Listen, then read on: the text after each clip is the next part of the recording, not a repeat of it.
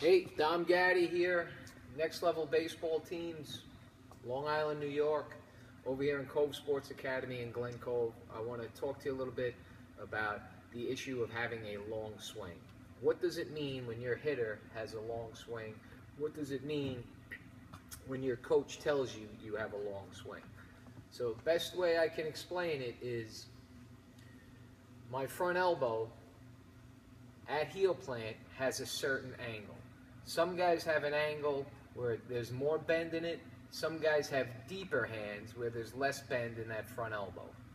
Whatever that angle is needs to remain constant on the initial part of the turn. So when you watch big league hitters in slow motion, you see that the handle of the bat and the back shoulder are married on that initial part of the turn until the elbow hits the slot.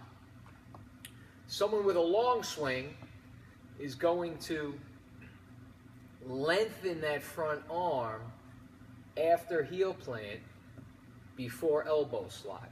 So as they start their rotation, they're starting to lengthen that front arm. And you can see the lengthening of the front arm causing a big distance between the handle of the bat and the shoulder. So their bat kind of gets away from them as they lengthen that front arm and the barrel then tends to cast outside too far, leaving a big hole on the inner part of the plate.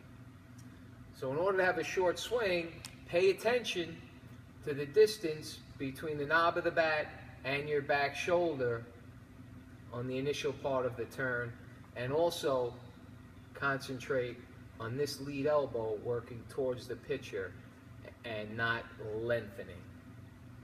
Get the elbow towards the pitcher. Maintain short distance between the handle and shoulder of the bat to keep you inside the ball and maintain a short swing.